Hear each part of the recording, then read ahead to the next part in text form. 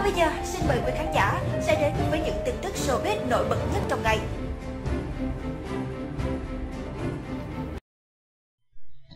La Văn Hy công khai hẹn hò cùng chị gái Bạch Lộc, phán thắc mắc Dương hô thế nào. Sau thành công tại trường Nguyệt Tận Minh bắt cặp với Bạch Lộc thì mới đây La Văn Hy khiến nhiều khán giả không khỏi ngỡ ngàng khi bất ngờ nên duyên cùng chị gái của bạn diễn.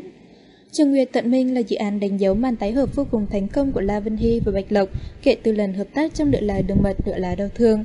Trong phim, nhiều khán giả nhận xét nam nữ chính là cặp đôi tình bệ bình và tích cực được đệ thuyền cả ngoài đời. Nhưng trên thực tế, La Vân Hy và Bạch Lộc chỉ dừng lại ở mối quan hệ bạn bè thân thiết. Đi ngược với mong đợi của fan couple, nam chính Trường Nguyệt Tận Minh bất ngờ công khai hẹn hò cùng nữ phụ Diệp Băng Thường, Trần Đô Linh. Ngay khi biết thông tin, nhiều người ví von rằng La Vân Hy và Bạch Lộc từ mối quan hệ yêu đương bỗng trở thành anh rể, em vợ. Theo đó, cách đây không lâu, La Vân Hy, Trần Đô Linh đã cùng nhau tham gia buổi diễn thi đấu kỷ niệm tròn 12 năm của một game nổi tiếng. Cặp đôi cũng từng được chọn trở thành đại diện quốc phong cho game này. Xuất hiện tại sự kiện, cặp đôi trai tài gái sắc Trường Nguyệt Tận Minh khiến nhân tình mê mẫn vì visual quá đỉnh. Trong khi La Hy được khen ngợi có vẻ ngoài điện trai, nam tính, trong trang phục màu đen sang trọng kết hợp với kiểu tóc đuôi gà bồ cao, thì Trần Đô Linh cũng rất phá cách với bộ cánh trẻ trung, năng động.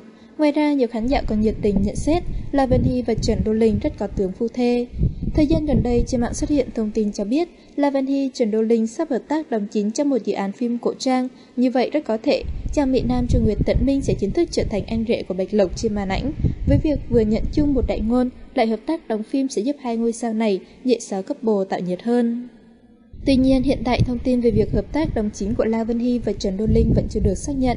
Ở một diễn biến không mong đợi, dù có màn bắt gặp ăn ý với Bạch Lộc trong trường Nguyệt Tận Minh, nhưng La Vân Hy vẫn gặp phải nhiều ý kiến trái chiều bởi ngoại hình của nam diễn viên khá gầy, nên có đôi khi lại không tạo được cảm giác khớp bổ với nàng Tiểu Hoa.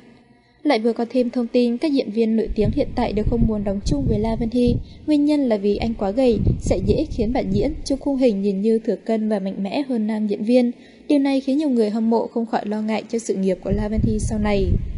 Bởi việc bị các sao nữ có tiếng từ chối hợp tác đóng chung, rất có thể khiến La Vân Hy mất đi cơ hội tiếp cận với những dự án lớn.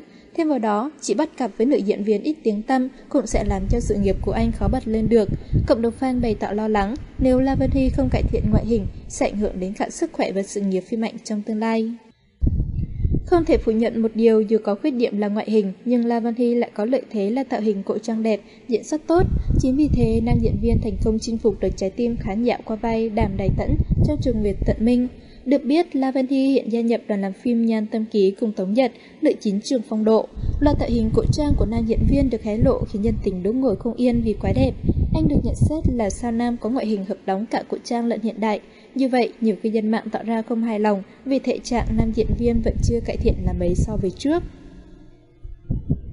La Văn Hy sinh năm 1988 tại thành phố Thành Đô, tỉnh Tứ Xuyên, Trung Quốc. Trước khi quấy đạo mạng xã hội xứ Trung trở thành hiện tượng mới cùng bạn diễn Bạch Lộc, La Văn Hy từng là diễn viên múa, thành viên nhóm nhạc.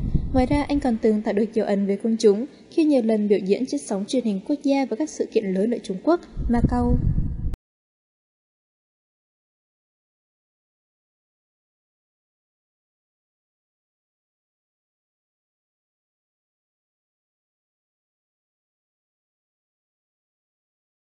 Bản tin của chúng tôi đến đây là kết thúc.